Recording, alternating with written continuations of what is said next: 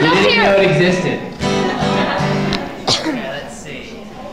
So tonight's gonna be covers and originals, and I actually wrote a. I had this song that I that I'll talk about a little bit later that I have been working on for. Like I work on how I write songs is I write the words first if I get a melody.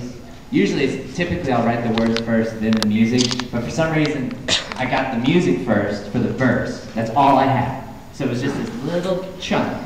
And for weeks, it's right here in my head. Well, about right there in my soft spot.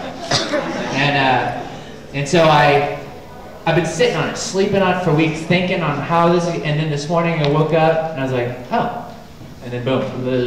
And so it'll be debuted here tonight with you guys, and no one else has heard it yet. So this will be a brand new song.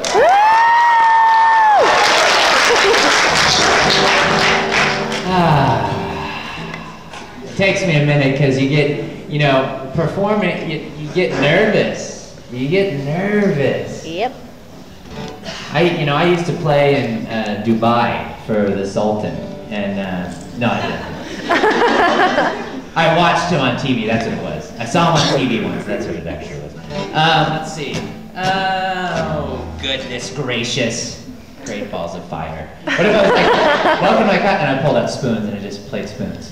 Spoon, di- different sizes of spoons, and like, oh, you see? And then I got the glasses out and filled up the glass. I went, whoa.